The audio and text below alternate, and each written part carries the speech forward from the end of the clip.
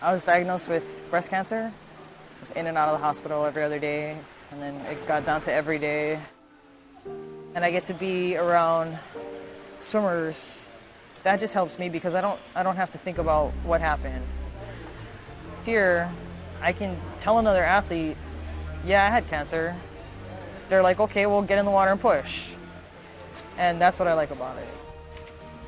I made my one year in April. Just waiting on the next four years. So my five year, I can celebrate my remission, which is nice. I want to do that.